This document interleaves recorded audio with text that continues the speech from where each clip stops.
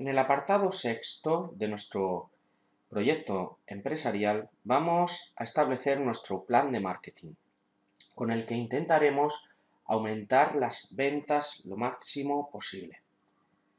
Para ello, tenemos que dar a conocer nuestro producto y persuadir a los clientes para que lo compren.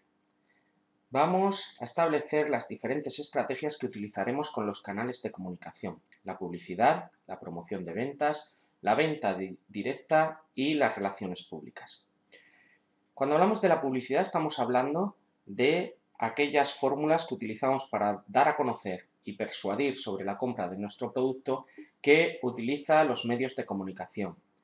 El correo, la prensa, las revistas, la radio, la televisión o la publicidad exterior.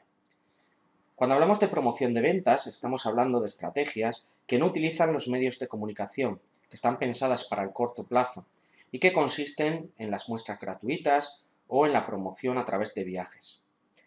La venta directa consiste en que una persona de la empresa visita al cliente para intentar venderle el producto.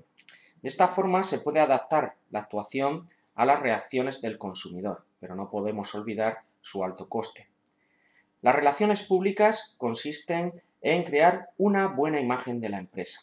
Esto lo podemos llevar a cabo a través de la sponsorización de eventos deportivos o culturales o las donaciones a, diversas, a diversos organismos, entre otras actividades posibles.